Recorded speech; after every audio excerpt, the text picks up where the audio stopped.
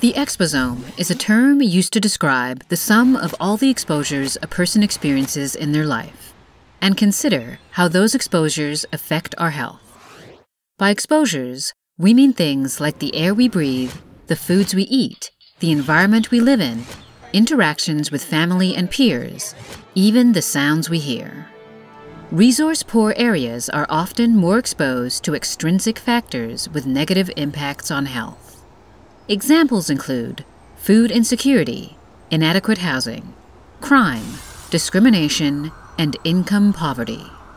Plus, environmental exposures like air and noise pollution and chemicals from industrial or agricultural sources. These extrinsic social and environmental variables can have a significant influence on child development with lasting effects. That's because our early life experiences and exposures get under the skin. They become embedded in our biology.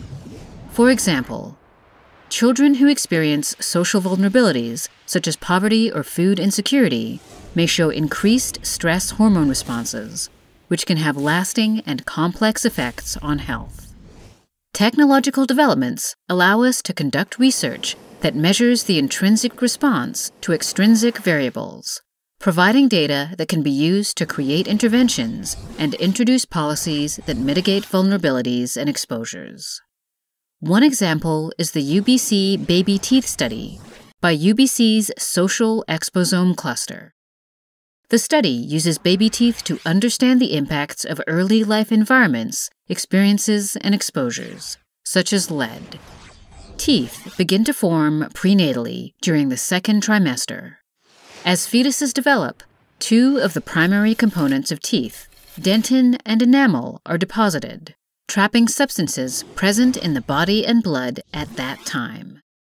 When baby teeth fall out, they can provide a record of what the child has been exposed to. For example, data analysis can determine the levels of stress hormones and heavy metals present.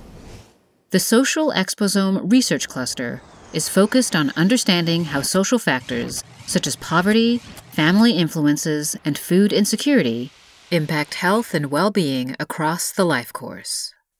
Our long term goal is to develop and inform interventions and policies that reduce disparities and optimize the health and well being of all people in Canada and abroad.